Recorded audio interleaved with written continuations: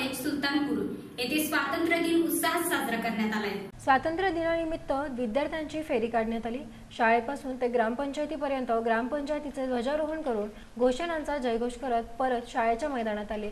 शाळेतील ध्वजारोहण आशिष पठाण यांच्या हस्ते करण्यात आले. यानंतर वेगवेगळ्या स्वातंत्र्य सैनिकांचे पोशाख परिधान केलेले मुले यांनी स्वतः खडतर आयुष्य आणि स्वातंत्र्य मिळवण्यासाठी केलेल्या त्यागाची माहिती देऊन स्वातंत्र्याचं महत्त्व सामान्य व्यक्तीपर्यंत पोहोचवलं.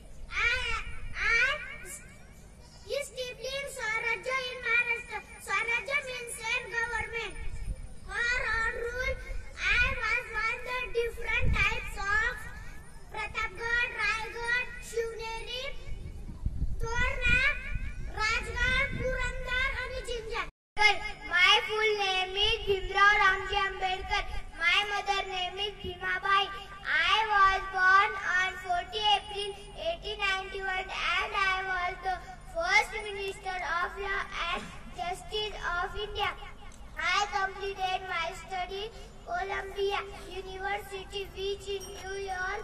I fought for Buddhist Dalit people for their rights.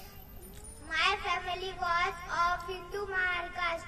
I call the father of the Indian Constitution. My studies and thought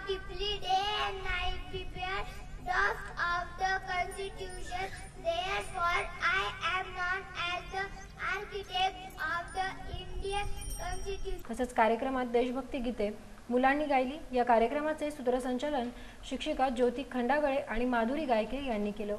कार्यक्रमाची पूर्ण तयारी छाया देवकर रोहिणी परदेशी निलोफर पठाण वनिता पट्टेवाले इम्रान शहा बबन बोडके अप्पासाहेब चव्हाण यांनी केली. या कार्यक्रमाबद्दल शाळेचे मुख्याध्यापक आदित्य गायके यांनी सर्वांचे आभार मानले.